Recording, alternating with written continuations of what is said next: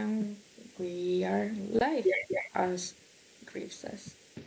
So, welcome to the project showcase. This is a, a trusted seed uh, little space uh, for members of the community to actually pro- uh, showcase their projects outside Commons Stack and Trusted Seed.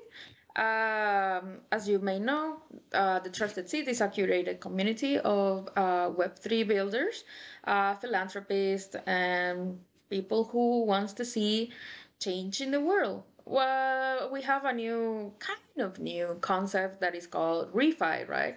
Uh, regenerative finance and all this stuff. So, uh, but yeah, I think uh, most of the movement it makes sense. But, um, the movement is people who actually wants to make an impact and people who have an intention of creating for good. And and yeah one of these uh person uh is chris cipher who is joining us today to show us uh, a new tool that he's building. And and yeah and he's a member of the trusted seed. So welcome, Chris, and thank you for for accepting and coming to to showcase your your project. Yeah, hey, um, thanks for the lovely introduction, Martha. Uh, always love to be here. I think last time I also presented another of mine and my friend's project maybe a couple of months ago. Um, yeah, and what is the usual setup? Should I just jump in a little bit? Uh, should I do a small introduction about me maybe first? Yeah, um, uh, tell us about yes. you, and then you can uh, uh, give us an introduction to the product. Sure. Um, yeah, so I've been working in crypto since, let's say, 2017. Um, first, um, doing a little bit consulting, working with uh, one company over two years, and then again forking out into consulting, building small projects. Um, there were, for example, two small early NFT projects, 2018, 19, um, where we did this Christmas card NFTs that you could send to friends, and we would let people pay for it. Little amount of ETH back then, but now it's worth way more. um, that we would pool and then route through Giveth. I think we we're actually like the first uh, like project, external project on Giveth. Um, and yeah, give it to a couple of good causes. And that was that was really fun to build stuff with friends and uh, do NFTs back then and so on, innovate a little bit.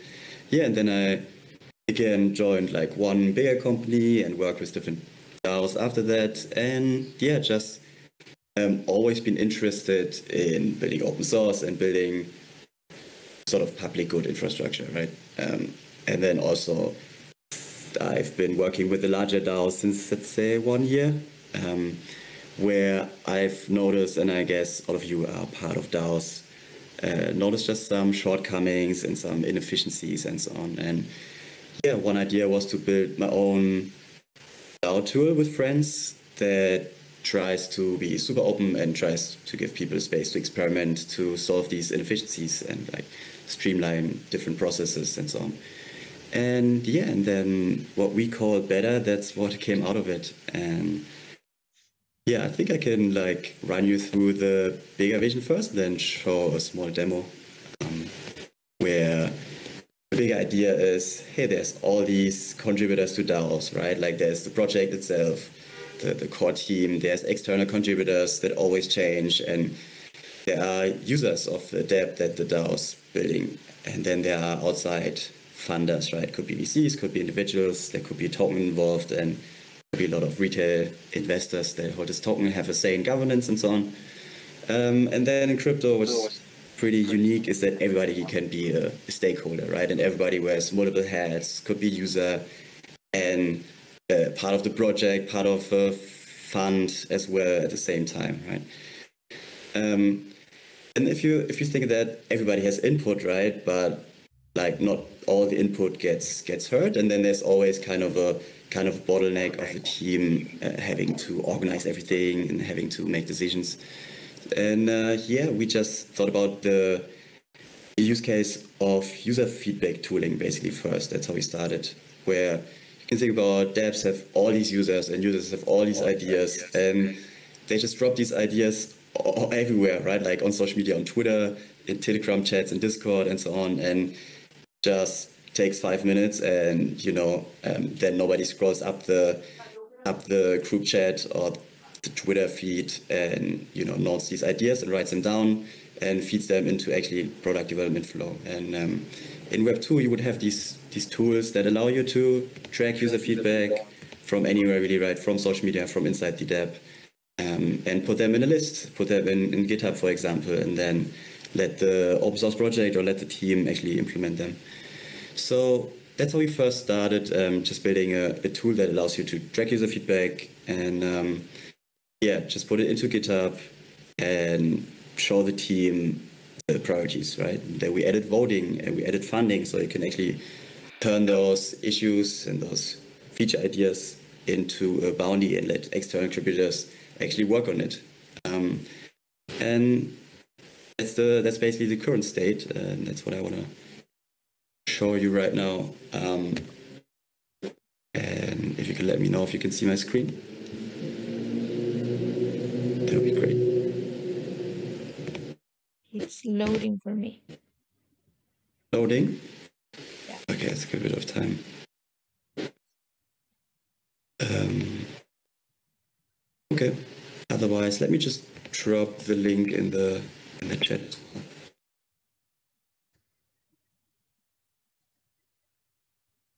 Where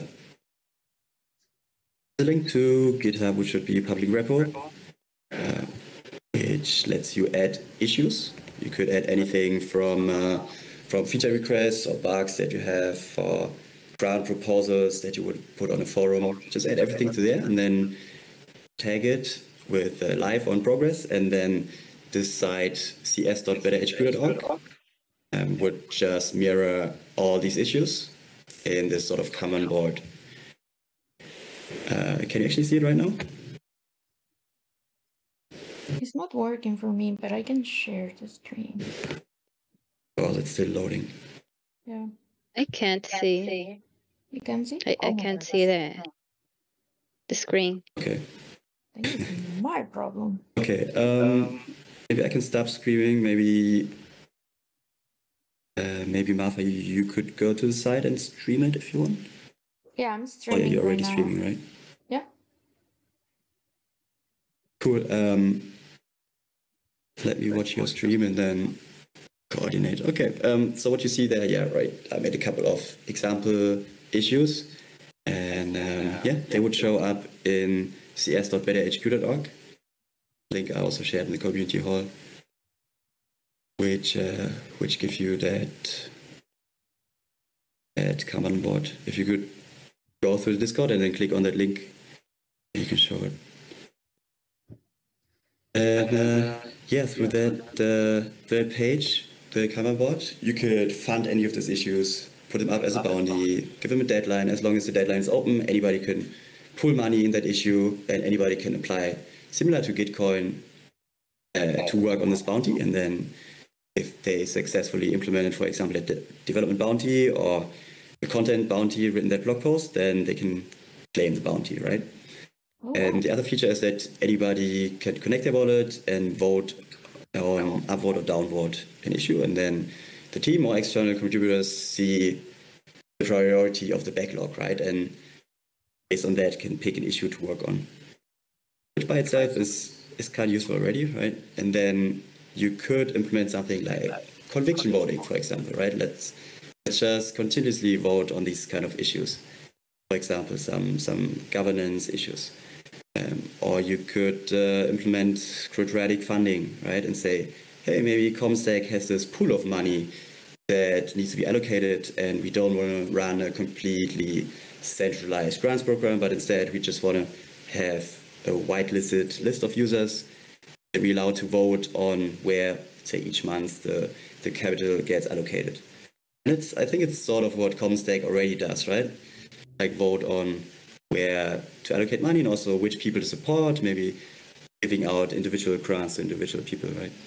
Um, yeah, and that's the that's the MVP that built right now. Um, it works on NEAR testnet because they gave us a grant basically. Um, and Solidity contract is written, so the funding would soon also work uh, on your EVM chains, and then the connect wallet button also would route to your MetaMask and lets you authenticate.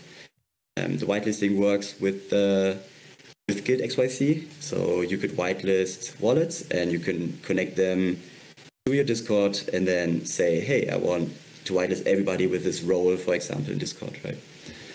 Um, yeah, that's the setup right now. And then again, the bigger ideas, the, the, like the bigger technical philosophy behind it is that everything is open source and it has these different modules that you could exchange, right? It has voting, identity, it has the payment for the bounties, and it has this backend for which you right now use GitHub.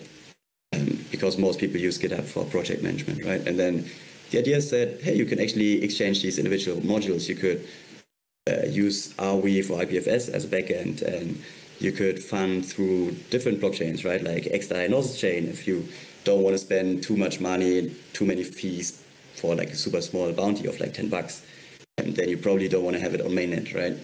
And then same for the voting. Maybe you want to um, integrate Snapchat, uh, Snapshot as a voting backend, or you want to do it on chain, or you want to do it off chain with uh, Twitter identity or Discord identity, right?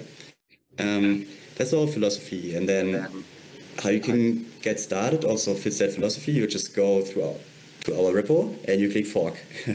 and then there are a couple of steps that you go through to set your DNS to basically host this page on your own site, right? It could be on uh, roadmap.comstack.com.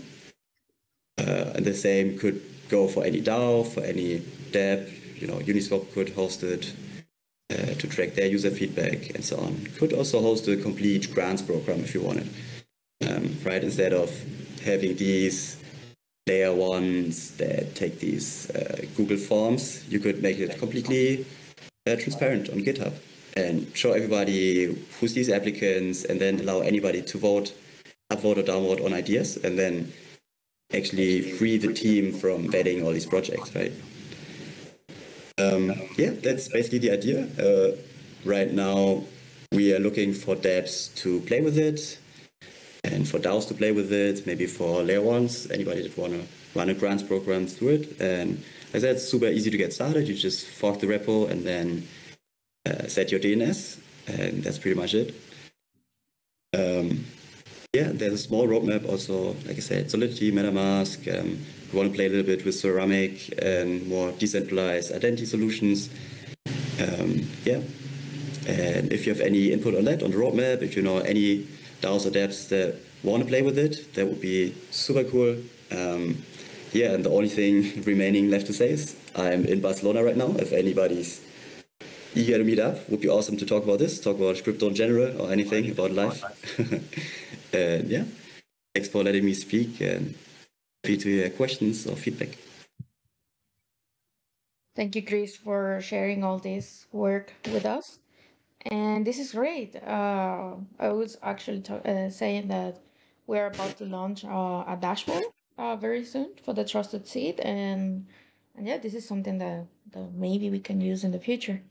Um, so the floor is open. Uh, part of this, uh, the idea of this space is that uh, the members share the projects, but also ask for help. As Chris said, uh, you guys are welcome to to collaborate with him, uh, but also to share feedback and ideas. So I don't know if is there any questions from from the participants. David, uh, I see Mike here. Uh, welcome, Mike, to the project showcase.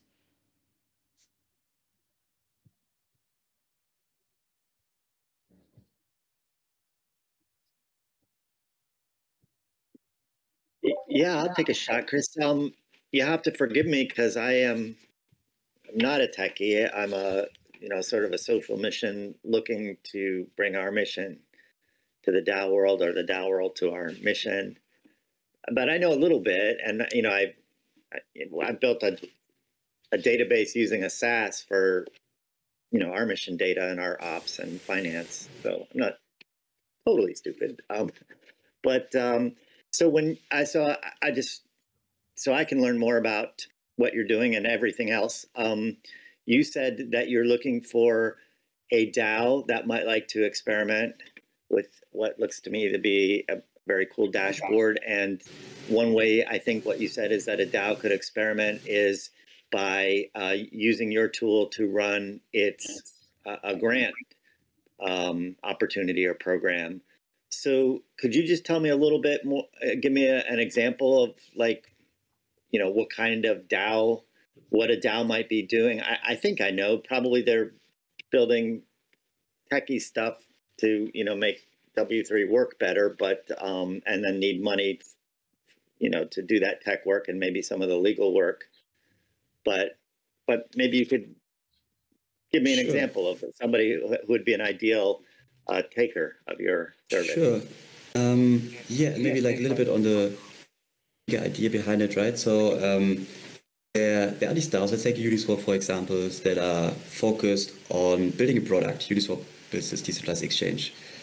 Um, and they launch a token, they have a bunch of money in their treasury, and they want to allocate this treasury to anything that's useful to their cause. And the cause probably know make the price go up a little bit, but also get adoption for the um, get like a, yeah grow the user base for the product, but also help crypto in general and spin up these experiments to help to help like ETH2 and public goods funding and so on. Um, so they have all these goals. They want to allocate money to that, and the way they do it currently is kind of inefficient and slow and kind of bothersome for any external contributor um, that wants to get money to do something useful, right? So you would go to the forum, you write a text, and you wait four weeks or so for anybody to, to answer, make decision. People vote on it, and so on, right? There's, um, yeah, the, the idea again is also that if you do a proposal, you already need to have a team. You already need to, you know, um, dedicate, like commit to roadmap so on. You have this like a little bit of risk of not being accepted while putting the work up in front. And then what we try to do is to break this down, right, and say, hey, there are people with good ideas, and then other people who are free to put their work in, and then a third party that uh, wants to put in their money. And in that case, the third party would be the project team, like the treasury of Uniswap. Um, yeah, and people could just throw in all kinds of ideas right? Like there's no bad idea, but then people would vote on it. Could be whitelist of people with certain role in Uniswap Discord. Could be uh, project members that get like double vote or whatever configuration you want to have, right? And that way you would sort these lists and give them a different weight, and that way external contributors again could already they don't have to write up a proposal, but instead they choose the best idea, right? Because if a team member already voted on that idea, they have to signal hey, if I actually start working on that, then the probability is high that I get paid for it, right? And uh, yeah, and same for all of these all of these roles, right? They could put their ideas in there, could they put their funding in there upfront or whatever, or they could join later and say, hey, if somebody starts working on it, then I see this updated GitHub, I get notified, and maybe I just want to start the team later because I'm less of a risk taker, right? But all of these different features, they don't work in the the current process is, is really kind of slow process right now with the DAO forums. Um, does it answer your question? Or? Yeah, that's very that's very helpful, and it kind of remind. So, even though um, Trusted Seed is the first um, DAO I've joined, I have popped into a couple others, including one called DevX DAO, and they have uh, two weekly calls on uh, Discord. Maybe it's Telegram. Anyway, um, they are really excited. The guys running that DAO are really excited about where I'm trying to get to, and it's it's more or less putting together a housing portfolio that would be owned by the tenants and the workers who built it. Um, so talking about the distribution of equity and trying to localize uh, power and keep it local and to permanently decentralize ownership so no one entity can take it over. So like good fit there. But anyway, what I'm trying to get to is you have to so so they want me to apply for a grant, but I don't have a tech team yet. Like so one of the things I'm doing here is trying to meet people so I can figure out how to put together a tech team and I have some lawyers that I'm working with, it's all still very loose. All that to say, like, I'm not ready to apply for a grant, but I can't be a member of that DAO until I apply for a grant. So I'm stuck in this chicken and egg moment. And it, it sounds to me like what you just said, you know, might solve for that. It lets you start the conversation while it's still, you know, very iterative ra- rather than a, you know, a final proposal and white paper all being in place.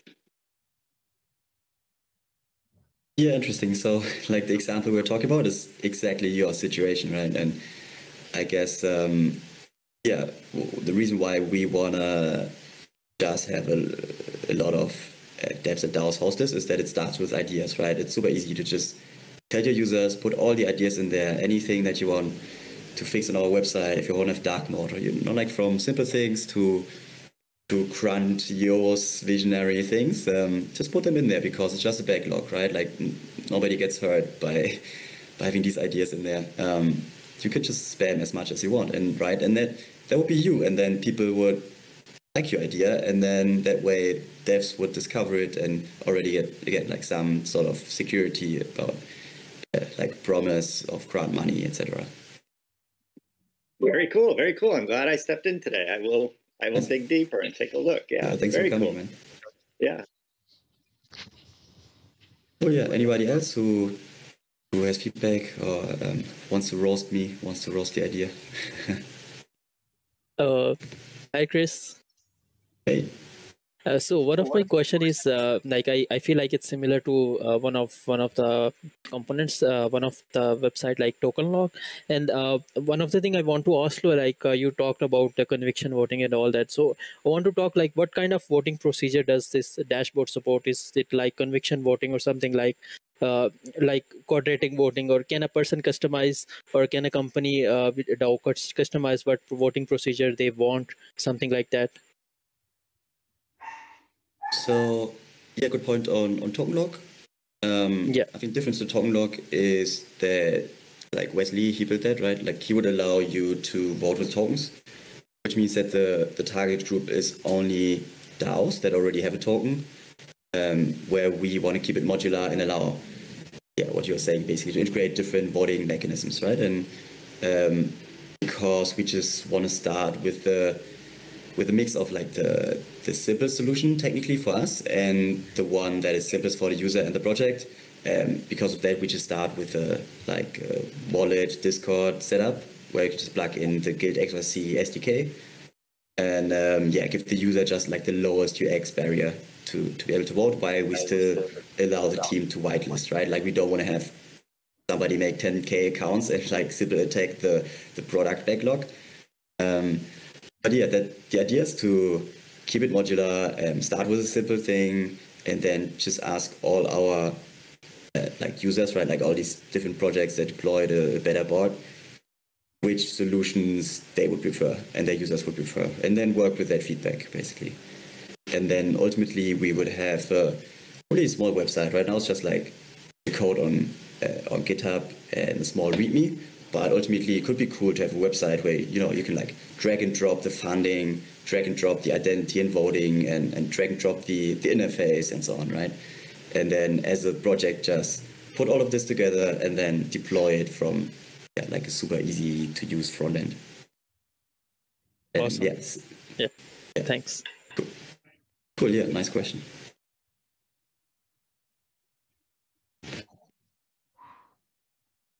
And um, yeah, just to give one idea, also right now, uh, if you devs use it for like uh, user feedback, and then there's one project that uses it to to like outsource uh, content production, like write blog posts and tweets, stuff like that for bigger ecosystem. Um, yeah, and there's a layer one that also uses it, I would say, as an alternative to Snapshot, basically just for voting. Which, yeah, all of these things are pretty cool. And honestly, we just have this this one view that tries to accommodate all these different use cases. But in the future, we also want to you know, have different different views than just a Kanban board, right? Like optimize it for all these different use cases and so on. Wow, that this is great. Uh, well, I don't know if there's any other questions, but uh, if not, uh, Chris, if you can give us uh, social media or uh, how to contact you uh, in case we want to collaborate or someone watching this video uh, wants to meet you or uh, talk about further um, develop of the project. Uh, can you share any point of contact? Sure. Um, feel free to just DM me on Twitter. I guess that works. Um, or DM BetterDAO on Twitter. And our website is betterhq.org. And from there, you'll find the Discord and the Twitter links as well. Um, I'll also post them in the channel here, so you can scroll through that. And yeah, would love to chat with anybody that is interested in it or anybody that knows somebody. And, uh, you know, uh, no airdrop promises, but who knows? Maybe in the far future we'll, yeah, whatever. But uh, really appreciate you guys to host me and appreciate all the all the feedback. Thank you for the It's always alpha. fun. Yeah, good luck, Yeah, great. Well, thank you Cool. guys for for joining us. Uh, well, this is a, a call that is sch- scheduled for thirty minutes. So, um, but sometimes we extend a little bit more. Uh, if you guys if you guys have any questions, please uh, put it on the community hall uh, chat channel because we are using the one that that is the voice. Uh, and feel free to tag uh, Chris Sai uh, there, and I, I'm sure he will be answering there.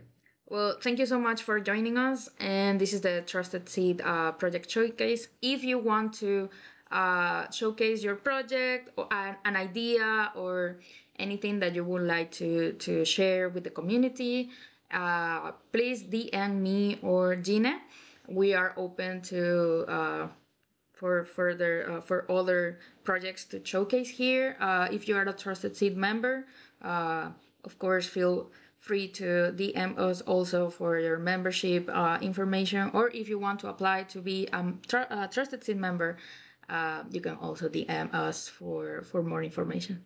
Thank you guys for for coming, and see you next time. Bye, everybody. Cheers, guys.